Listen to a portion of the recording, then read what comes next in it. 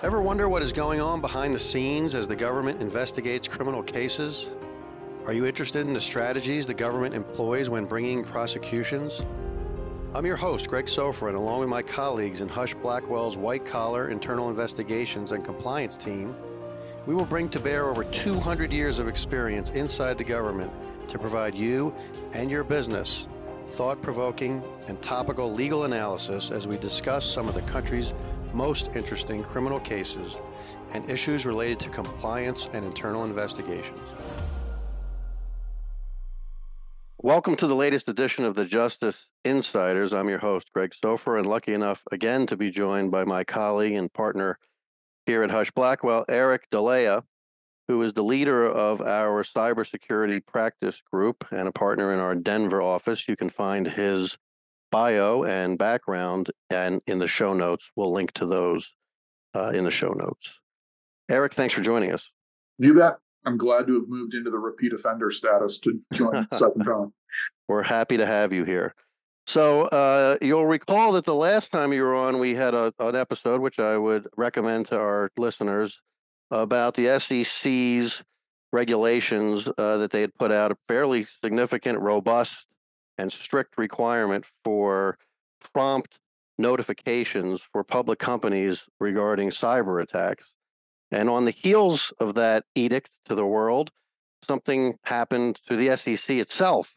And in, a, in what I would describe as something that's highly embarrassing to the agency, early this year, a hacker was able to hijack an SEC staffer's phone and apparently get access to the agency's ex, formerly Twitter account, and posted a tweet regarding a approval of Bitcoin exchange traded products.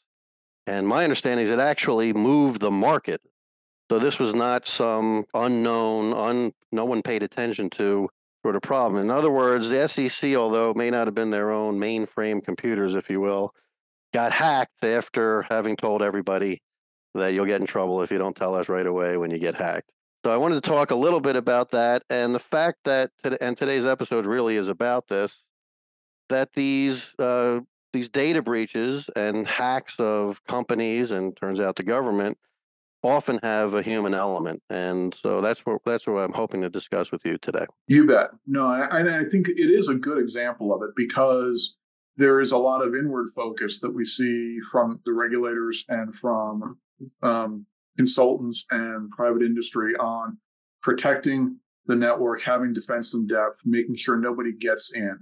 And unfortunately for the SEC, they've moved from the those that will category to the those that have category when it comes to dealing with an incident that they didn't want to have and a little bit of egg on their face. And in this case, it's a question that criminals are innovative and they are always looking for ways to penetrate a network and to get in through a form or a method that we didn't anticipate. Otherwise, we would have had a control in place. Yeah, so uh, some uh, there's various different statistics about this, but at least one organization has, has reported that 82% of successful uh, data breaches are can be attributed to some sort of human error, and I think humans probably constitute a vulnerability in most organizations for a variety of different reasons. But the more sophisticated uh, the hackers are, the easier it is to manipulate human beings. And we'll get into some of the ways that that's going on these days. But the bottom line is that it is very interesting that all this money gets spent on sophisticated programs and and software and ways of hardening your system, hardware even. But if your human beings aren't properly trained and properly looking out for trouble, you might as well not waste your money on the rest of it, right? Yeah, I think that's a good way to think about it. And I'd echo those statistics as far as the anywhere between three quarters up to 80, 80 plus percent involving a human being involved in the exploitation. And once they're in, generally what we see are the more common types of threats that are exploited are credential theft, which is going to give that criminal the keys to unlock all the doors so that they aren't having to break in. They're just strolling. And if it's beyond that, it's also phishing attacks or ironically, even though it gets a lot of the attention, especially for recent cyber events, vulnerabilities and exploitations of those, because they, those generally take a bit more technical sophistication. by the threat actor in order to take advantage of those. Once they become a bit more common, then those are moved to the ransomware as a service or malware as a surface market where they will sell or lease that code to a less sophisticated criminal for them to put to use for a couple hours to see what they can gain as far as quick exploitations and then they move on to the next target. Yeah, and we can start with the credential hacks or the credential acquisitions, because um, I think what happened at the SEC here sort of falls into that category, right? Yeah, my understanding for it's you know was a SIM card swap or a subscriber identity module uh, swap of the employee's phone, but that was done through a you know by an email account being compromised that allowed the criminal to then get over to the wireless carrier to ask for the swap, and that puts the criminal into the shoes where they are able to bypass or see the multi-factor authentication, which we generally see as being the be all and end all and best most common additional security control that's being used nowadays. And with that, they're able to simulate the employee and step in as if they were the authorized user. And I think something our listeners uh, should know also, and this is something that I regularly saw when I was in the government and still see, is that once your credentials or information has been stolen, not only do the hackers often do everything they can to exploit it, but as you pointed out, they then sell it and make it available on the dark web for anybody else to try to either do what they're doing or do something new. And, and it's amazing the community out there of people who are engaged in the regular course of business of trying to steal people's money and information. Yeah, you're absolutely right. It is becoming a mature economic model or industry of criminal activity. So let's talk a little bit about this business email compromise concept and what the threat picture looks like. What should companies be and individuals be looking for, and how might you train your folks to make sure that that vulnerability is controlled? Again, the, the human aspect of this. I think probably the the most important tool for organizations to use would be rather than focusing exclusively on training, which we think of as far as a sort of a once a year, make everybody watch a video. And we're taking time away from the revenue of the company because we're losing, you know, workforce hours and to focus on awareness and to have the infosec teams, the CIOs, HR, all of the folks that are interacting with the workforce, trying to find periodic ways to just keep the threats of fraud, whether it comes through the telephone, whether it comes through the email, whether it comes through a video screen, top of mind for the workforce. So posters in the elevator, signs by the coffee machines, ways that folks are going to be able to see it and just remember to be on the lookout for suspicious activity. And you know, and here at our firm, I had this in the government also. Um, one way to do that is to sort of, I don't want to say scare people, but there's nothing that reminds me more of the threat that when I get caught by our internal testing process, and it's, it did happen to me once. I, I was telling I was telling you before we started recording today that I thought you'd never catch me in in a phishing attempt. Paranoid. I for 30 years I spent uh, looking at the worst of human beings. I'm very careful about my internet practice, but I got caught by our firm's own internal sort of testing process because I was in a hurry one day and you know i'm aware of it but i wasn't disciplined enough to be thinking about it at that moment and i click on a link that i shouldn't have clicked on and and right then and there i you know you can expose your entire enterprise to the kind of trouble that the sec had you're you're absolutely right and that it's a good example in the sense that you can have a fabulous winning streak going until you until the misstep and it only takes one and that's true across the workforce we see with the phishing testing metrics they are a very good tool. And I'm not trying to disparage or downplay the value of them, but there are, you know, they're oftentimes companies and regulators will think about it from a check in the block compliance mindset. Are you doing it? And if you are, okay, great. But if you really wanted to be innovative, sometimes the people setting up those testing tools can be a little too sneaky or they get blowback it used to be a popular one that I would talk about using out here in Colorado to say on a Friday afternoon, you send the email out saying that I've got Broncos tickets for Sunday. You know, right now that may not be as popular or as hot of a topic as it would have been in years gone by, but for somebody that's in the Kansas City office, then yeah, if you've got make that email advertisement out there, you will see people because it's a first come, first serve. They're going to jump on it. The other aspect on recognizing those phishing emails is for a mobile workforce. Do they come across and do they look the same on your phone as they do on your desktop monitor? Sometimes that can be another way that people bite on it. And are the controls in place for an iOS, you know, piece of hardware as opposed to a Windows platform? And do they come across and do you recognize them the same way? That's where I tend to see that I'm falling victim to it is when I'm looking on my phone. I tend to not have the same level of skepticism as I do when I'm sitting at my desk. Yeah. The other thing I think that is concerning and, and particularly in the more sophisticated against larger hacks and, and breaches is once in the hackers and the bad guys, they don't necessarily do anything for a while, right? They're sitting there often watching. That's correct. You could think about it either as reconnaissance or pattern of life monitoring, to put it in DoD terminology, but looking to see how the organization behaves, who is involved in what types of transactions or projects.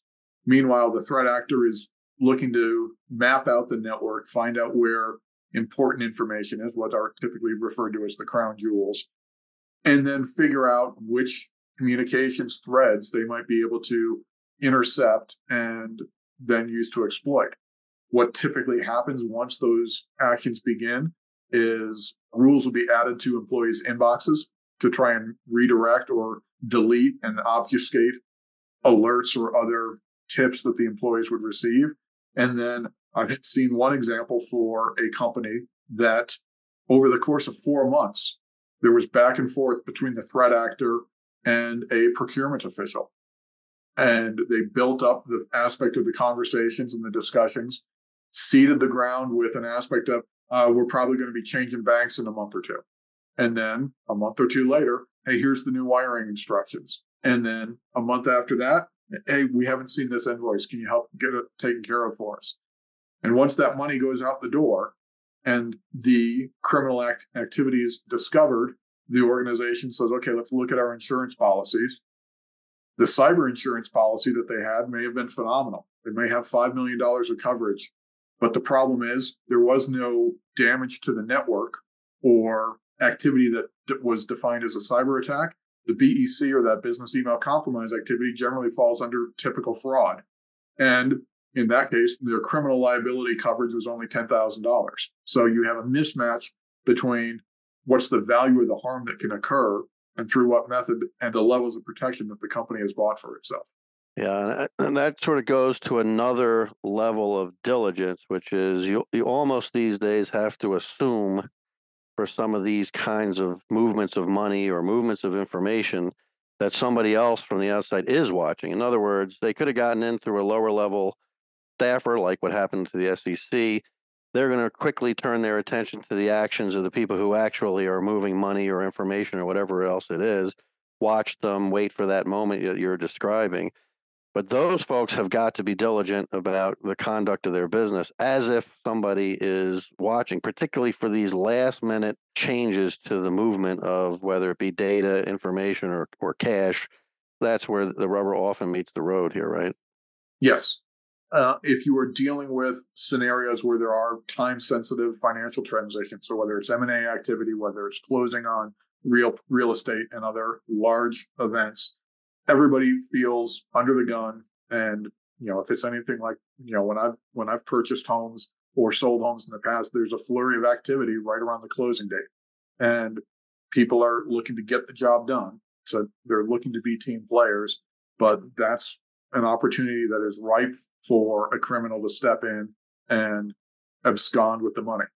So, what kind of advice do you give to organizations and individuals to, to deal with that part of it. In other words, it's not just you're looking for the phishing, but you're also protecting your own activities and the movement of money during these high pressure times or at times when somebody could take advantage of it at the last minute. I think some of the practice activities that senior leaders have to endure, and hopefully they do endure it. I mean, they should look at this as a way to assist with their risk management processes and controls would be to schedule tabletop exercises where you get the senior leader group in and the general counsel or the CIO or the CTO have come up with a scenario. And I've run these exercises in some cases with clients where, I mean, you can game it out to a certain extent. You buy them lunch. So everybody's at least getting food while you make them suffer for 90 minutes or two hours. And tell, you know, pick a card, any card. And out of that deck, there will be a typical ransomware scenario, which a lot of companies are familiar with now. But another one can be a business email compromise event. Or I th- think where we'll probably see activities shift to in 2024 or 25 is for larger companies where they have the risk of moving the market, a an AI deepfake on video. You imagine if you have a Fortune 100 company and suddenly onto social media there is a fake video of the CEO talking about the company headed toward Chapter 11, utterly fake and not affecting that company's networks or its data, but how would you get your communications team in place to deal with this? And what would they do in response to try and remediate the problem? So those exercises are not intended to give you a perfect answer to a given situation, but it's to allow the organization to get used to having to communicate across stakeholder lines and across business units so that when the real event happens, that will be a completely different fact pattern from what is practiced. They're used to getting the process going and talking.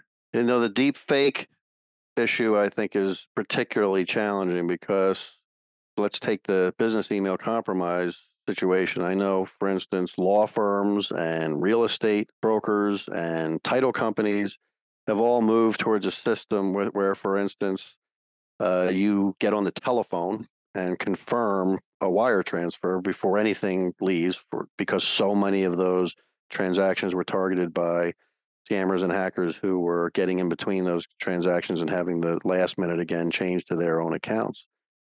But if the telephone call you make can go to somebody or you get a telephone call from someone whose voice has been deep faked or even get on a Zoom and you're staring at the CEO who's pounding on the table saying, you need to get this check out the door or, or transfer this money, wire this money tomorrow, or our company's in trouble. You know, this is going to be make things much more difficult, right? Right. No, I, I think you're correct. And that's one of those aspects where brainstorming about it in a tabletop can allow a company to think about what processes or controls would they want to put in place before they're dealing with the time sensitive project. So if they get to an aspect of, and I like your approach and the recommendations on, if you get the email about a financial transaction, switch over to a different communication platform and call. The reminder or the nuanced piece of it as the criminals get more sophisticated is don't call the phone number that's in that same email because that's the one that the criminal put in there that they're going to pick up an answer.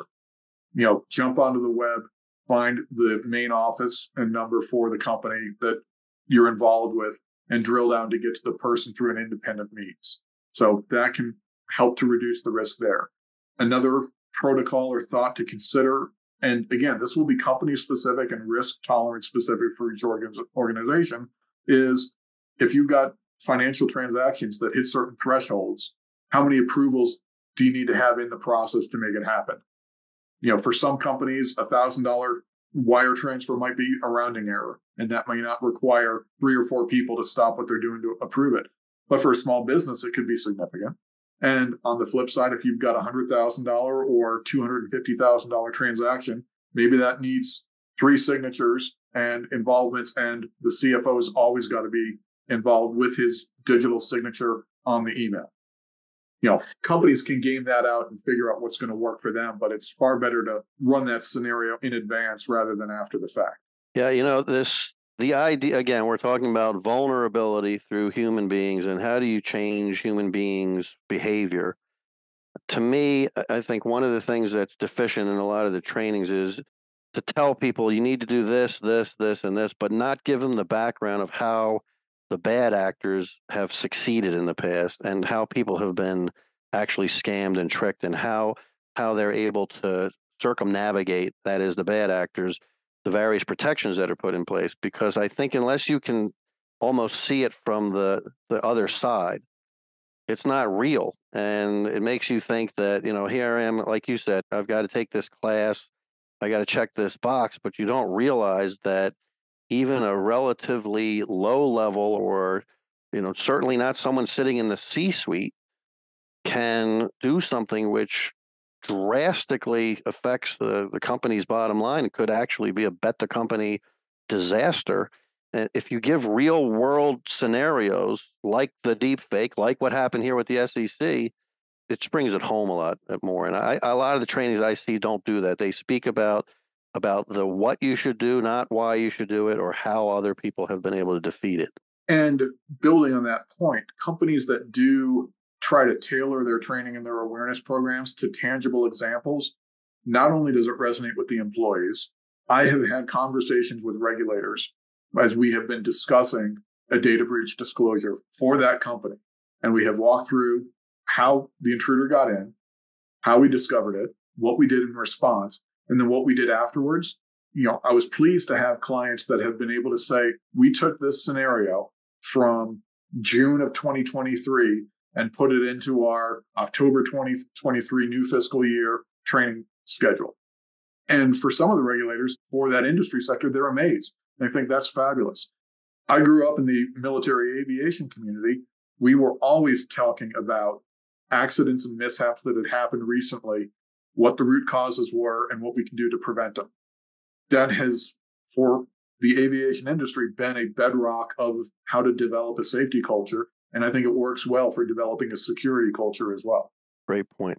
How about the other human problem, which is an insider who's actually decided? So you, you can have all the training in the world, but if you have someone in your organization who's got a malign sort of mindset here, how much of a factor is that? And what kind of thoughts do you have about dealing with that problem?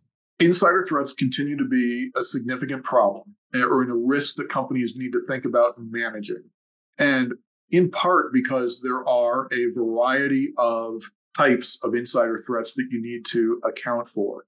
You have the malicious insider, which is a disgruntled employee that has a bone to pick with the organization, or is they're getting ready to leave and they're going to go somewhere else and they want to take advantage of things for competitive reasons. You're going to have the negligent insider that literally just didn't pay attention to the training, doesn't believe in any of this stuff, has no idea why these things are a concern, is disengaged from work, and is just careless. And then you can have compromised users. And under a compromised user, I would encourage organizations to think about that as one of your employees that you have a duty of care to help and protect.